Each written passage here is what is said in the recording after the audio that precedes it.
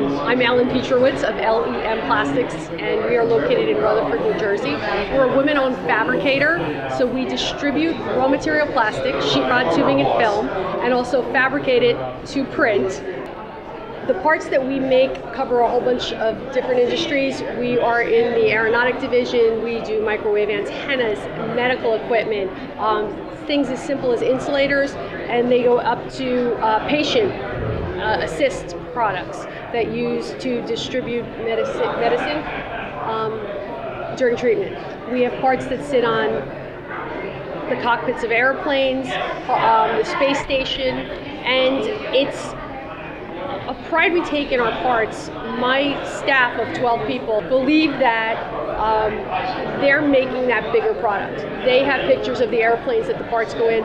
They have pictures of the actual equipment. I've had um, customers bring their equipment into my place so that the guys know exactly what it is they're making. So there's a sense of ownership that we have when we work with a supplier, with a customer. We're a supplier partner. Um, we've been doing this for 42 years and we want to continue doing it right in New Jersey.